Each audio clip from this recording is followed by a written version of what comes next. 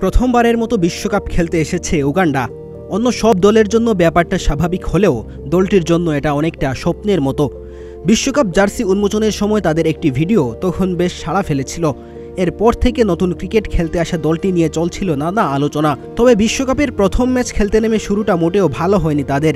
আফগানিস্তানের বিপক্ষে বড় ব্যবধানে হেরে বিশ্বকাপ মিশন শুরু করেছে তারা। নতুন করে উগান্ডা ক্রিকেট খেলতে শুরু করেছে।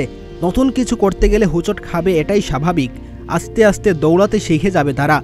বিশ্বকাপের প্রথম ম্যাচে তাদের প্রতিপক্ষ ছিল আফগানিস্তান। একসময়ের যুদ্ধবিধ্বস্ত দেশটি ক্রিকেট বিশ্বে আগমনের খুব বেশি দিন হয়নি, তবে অল্প সময়েই তারা তাদের জাত চিনিয়েছে। বিশ্বজুড়ে ফ্র্যাঞ্চাইজি ক্রিকেটে দেশটির ক্রিকেটারদের নিয়ে টানাটানি চলছে। দলটি নতুন হলেও চমক দেখিয়েছিল বাছাই পর্বে। বাছাই পর্বে নিজেদের সামর্থ্য দেখিয়ে বিশ্বকাপের মূল পর্বে এসেছে। প্রথম ম্যাচে আফগানিস্তানের বিপক্ষে পরাজয়ের পর একটা ছবি প্রশংসা কুড়াচ্ছে খুব বেশি। আফগানিস্তানি অলরাউন্ডার মোহাম্মদ নবীকে ঘিরে রেখেছেন ওগান্ডার ক্রিকেটাররা।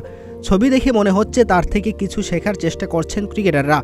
অথচ একসময় নতুন খেলতে আসা আফগানিস্তানও এরকম হুঁচট খেয়েছে। তারপর সেখান থেকে ঘুরে দাঁড়িয়েছে। আফগানিস্তানের থেকে অনেক কিছুই শেখার আছে। অল্প সময়ের ব্যবধানে আফগানিস্তান এখন ক্রিকেট বিশ্বের চমক প্যাকেজ। যে কোনো পরাশক্তির দলের সাথে তারা এখন চোখে চোখ রেখে লড়াই করতে জানে।